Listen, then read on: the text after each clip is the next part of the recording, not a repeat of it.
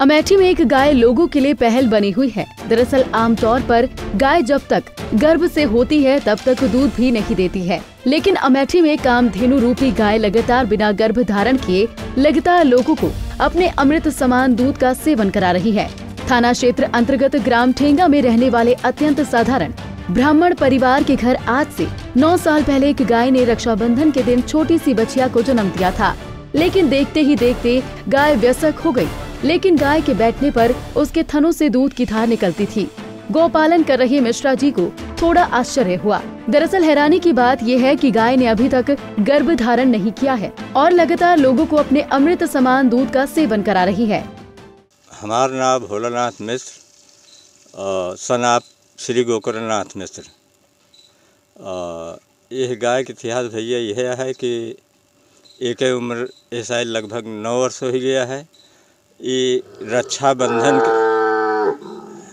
रक्षाबंधन के दिन पैदा भय है तो एक नाव राखी और रक्षा दोनों है भैया।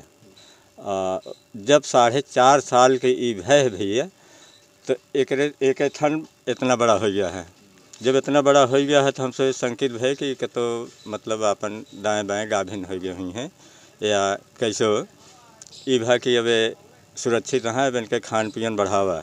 खान पियन जब बढ़ा दें, इनके थन बाढ़े लाग। जब थन बाढ़े लाग, ये ज़मीन में जब बैठे, इनके दूध निकले।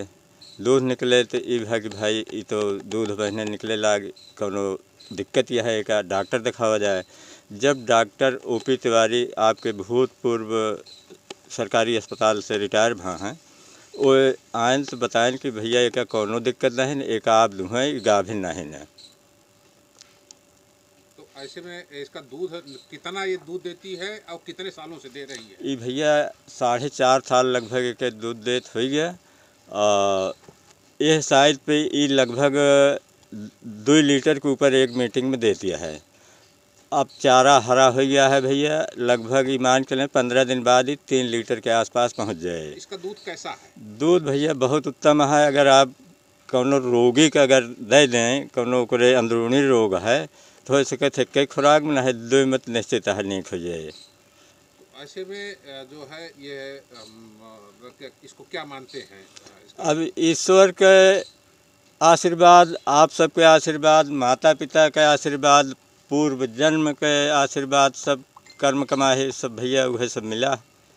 ये गाय नहीं इसको क्या है? ये अब काम दहन तो माने जाए लेकिन इस कलयुग में तो जुजबिन भैया माने वाले हैं। केहू विश्वास नहीं पड़त? कभी कोई सरकारी कर्मचारी भी आया था इसको देखने के नहीं भैया आपके ठंगा बाज़ार में गोदाम है। उसमें सूचना दे रहे तो सबके हुआ नहीं उसके बाद फिर कौन क्वेश्चन नहीं किन। और लगभग सवारी बगल वाले जनतो रहन। आपको बता दें गाय पहले दोनों समय एक एक लीटर दूध दिया करती थी लेकिन अब सात सात लीटर दूध दिया करती है। लोग इसे किसी चमत्कार से कम नहीं मानते। गौपालक कामधेनु रूपी गाय के दूध को भगवान का आशीर्वाद के समान मानते हैं। पंजाब केसरी के लिए अमेठी से शरद कुमार की रिपोर्ट।